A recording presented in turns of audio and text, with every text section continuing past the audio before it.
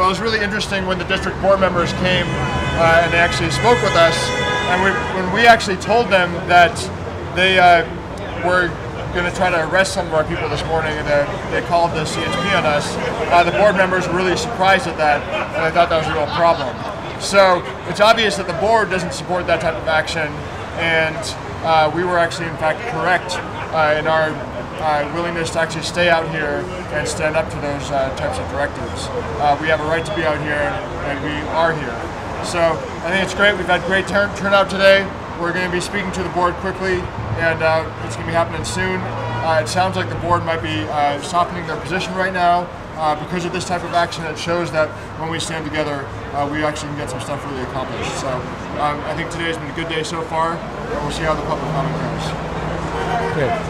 The, one of the issues that you've raised here is that the uh, the uh, bridge is trying to take away the current uh, uh, health care for the retirees.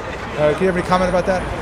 Yeah, well, I've, I have two things to say about that. One is that, you know, when someone retires and they're uh, told that they're going to have certain benefits, uh, it is just, um, you know, it is unwise and it's also just cruel to change someone's benefits when they've actually retired. It's one thing.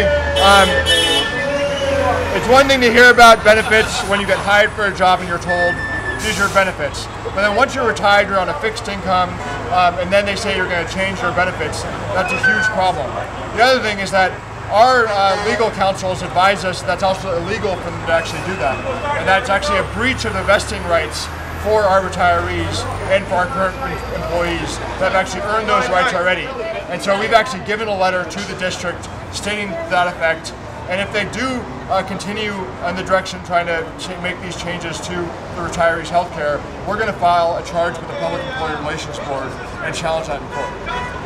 Thank you. Another issue here is that the uh, the bridge has been steadily raising their fares. Uh, I think at five percent a year, as well as uh, the tolls that they charge on the bridge. Have they paid anything like that in terms of raises to the members? No, well, in fact, uh, the way the bridge operates is that uh, they purposely manufacture a deficit every few years. And once they uh, raise the toll rates, they go out of the deficit and they have a surplus. But in terms of uh, the public doesn't want to see a public entity having huge surpluses, so they purposely run a deficit.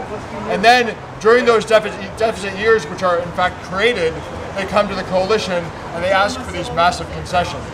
Uh, the, the actual documentation they gave us across the table, their own financial documents that they gave us at bargaining across the table, states that in two years they're no longer going to be in a deficit, even with no concessions made by the coalition. So we know that what they're asking for is above and beyond what they actually need, and they manufacture this situation every year. Um, and so we want to take part in supporting the bridge and supporting the district and making sure the finances are in good shape. But we also can know when they're reaching above and beyond. And if you look at what they've asked for from the bus drivers and the ATU contract, it's nothing compared to what we've had to uh, give up in recent years and in this contract year.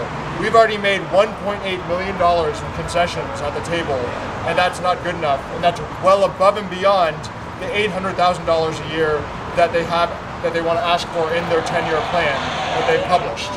So we've actually gone above and beyond, and we've been told at the table that they are asking for these concessions based on principle, not based on financial need.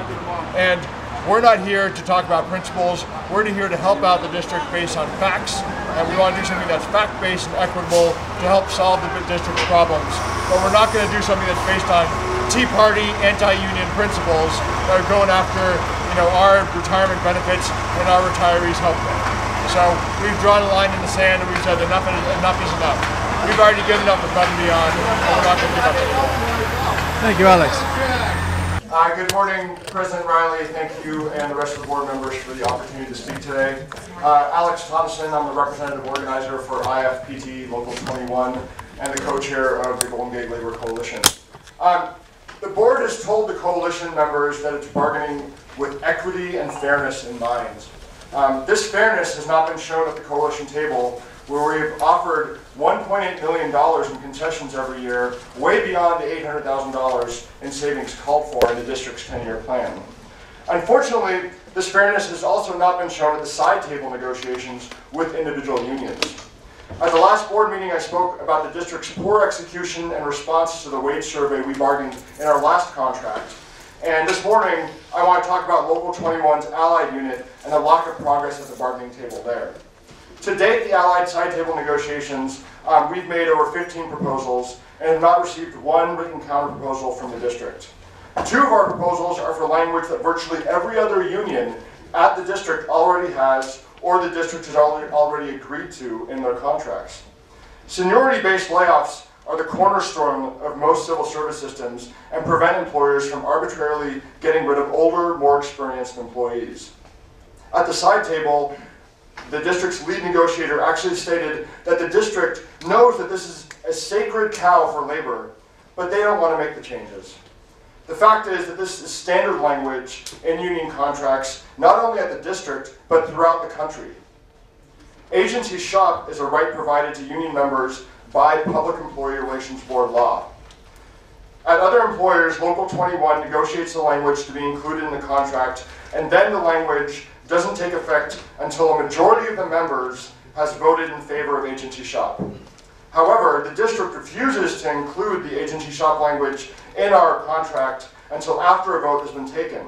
Local 21 is the only union that has been forced to do this, and not only is this not practical during the middle of negotiations, but this means that members have to vote on what can, can be a really complicated issue without knowing what the language is ahead of time. The facts clearly show that there's no fairness in the district proposals. I ask that the board move off misguided principles and seriously reconsiders the proposals that we've made at the side tables and at the coalition table, so we can settle this contract as soon as possible. Uh, thank you for your time. Thank you, Mr. Connors.